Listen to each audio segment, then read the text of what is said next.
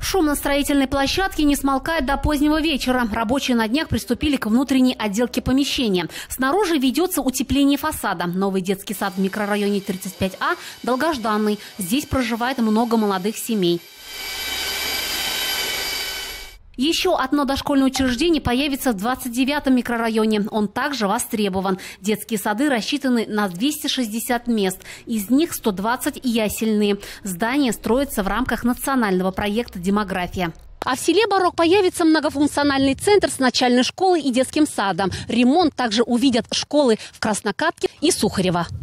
Все это благодаря государственной поддержке. Строительные работы идут и на территории детско-юношеской спортивной школы «Нефтехимик». Здесь возводят крытый манеж. О масштабных программах сегодня говорили на деловом понедельнике.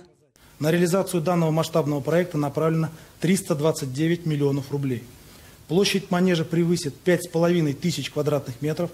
Размер поля 90 на 45 метров. Торжественное открытие нового спортивного комплекса планируется приурочить к празднованию Дня Республики. Помимо этого ремонтируются дороги, благоустраиваются парки, скверы, улицы. Сейчас в городе и районе реализуется 7 федеральных и 25 республиканских программ. На эти цели выделено 3 миллиарда рублей. Гулия Нигматулина, Рафаэль Ракипов, Новости НТР.